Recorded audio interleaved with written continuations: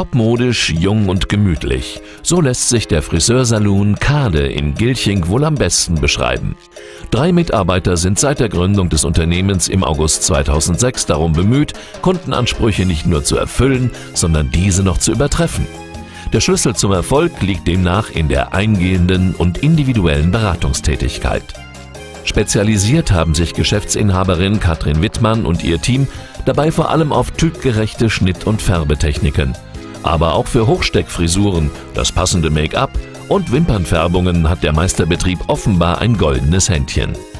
Das äußerst zufriedenstellende Preis-Leistungs-Verhältnis sowie eine gemütliche Atmosphäre des Saloons machen den Friseurbesuch hier zu einem einmalig entspannten Erlebnis. Mehr Informationen zum gesamten Angebot sowie eine detaillierte Preisliste finden Sie auf der Unternehmenshomepage unter www.friseursalon-ka.de.